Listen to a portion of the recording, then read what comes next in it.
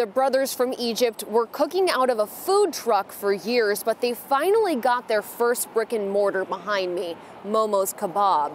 But what they didn't expect was for the second time this year to be a victim of a smash and grab. It's 4 a.m. You can see this truck has no license plates at all. Police believe the truck's stolen. The driver reverses up onto this curb and into Momo's Kebab, breaking the door frame. All the way like this, and then could jump right here, and then boom, broke the door. And then he, the alarm is start, and then he ran away. But not before police say he also smashed their neighbor's door, Yummy Kitchen. This door was all broken. At Momo's, the smash and grab was all smash, no grab. He didn't steal, thank God, he didn't steal anything. Police believe his motive was to steal, but that he drove off after not being able to make entry into Momo's. Still, this is second time happened with us actually. The second time in nine months. See that rock on the ground? Someone threw that through their window in April. He steal all the register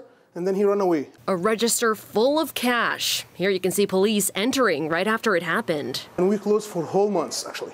And they stopped accepting cash after this, so it was discouraging when it happened again this week, adding to their losses. Thank God he not, he not stealing anything, but we have to close for another months and this is a christmas time and the new year and this is the time we're doing our money and this is this is our time we're doing the business we make our food with the love you know what i'm saying? But this is happening again and hopefully hopefully hopefully he will catch him as soon as possible. And police could use your help. The suspect is driving what appears to be a burgundy ford f-150 with a unique style canopy on it. Meantime at momo's when the business reopens he says please come try our food if you'd like to support Momo's Kebab, perhaps by enjoying some fresh homemade falafel or chicken shawarma, they are planning on reopening after the new year, though the exact date is not set yet. Reporting in Renton, I'm Maddie White, King 5 News.